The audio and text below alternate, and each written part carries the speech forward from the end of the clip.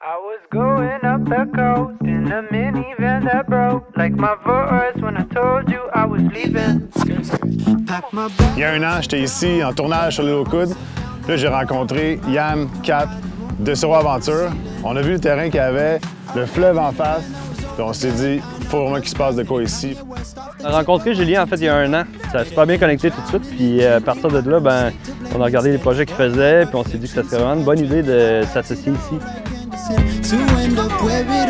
Comme dans le Vine Life, comme chez Aventure ou dans le kitesurf, l'île aux coudres, c'est vraiment une île où est-ce que les générations se mélangent. Donc, il y a beaucoup de transfert de connaissances. Ça, c'est vraiment beau, puis ça rend des, des événements comme ça possibles.